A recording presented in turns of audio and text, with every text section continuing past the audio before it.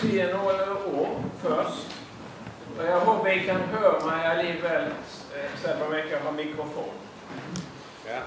Så jag tänkte spela två korta stycken av Claude Debussy, den franske komponisten som eh, hans musik var ju lite inspirerad av impressionistisk konst, medelkonst.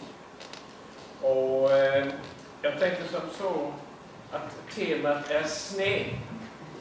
Vi har ju inte haft rätt mycket snö eh, i, i vissa sydliga delar av Skandinavien. Eh, där var jag bor hade vi två dagar med snö på hela vintern. Eh, jag bryr mig inte så mycket om kulde, men man, man, man må inrymma alligevel att snö kan vara mycket smukt. Och Debussy har alltså två olika stycken som är inspirerade av snö.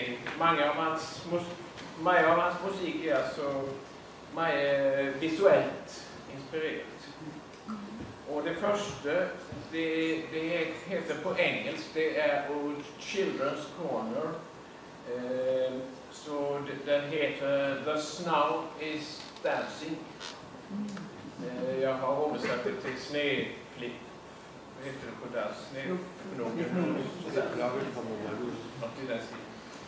Eh, så eh, jag tänker, det, det har en liten dröm, drömmeaktig eh, atmosfär.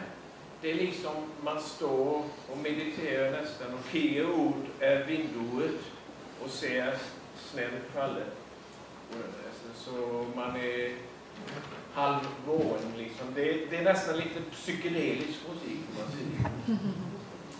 Och eh, man hör också långt borta klockorna från en kyrka som, som eh, i vart fall så, så förtolkar jag det på den måten.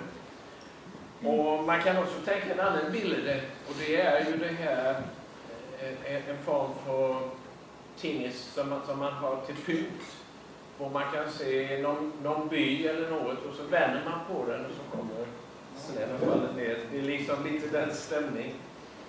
Och det andra stycket det är lite mer stillsamt och det är ett frosen, frosen landskap. Och du precis skriver i noterna att, att det har karaktären av något lite trist. Och, och det, det, är ju eh, fottring i snön. Alltså man kan föreställa sig inte någon som, som träder i snön eller också att man ser spår. jag vet inte vilket. Eh, man kan tänka sig bägge moské. Och så i slutningen av stycket så står det nog att, att det ska ha karaktären av sound. Alltså att man sound på att det är lite nostalgiskt. Så jag hoppas det kan bli det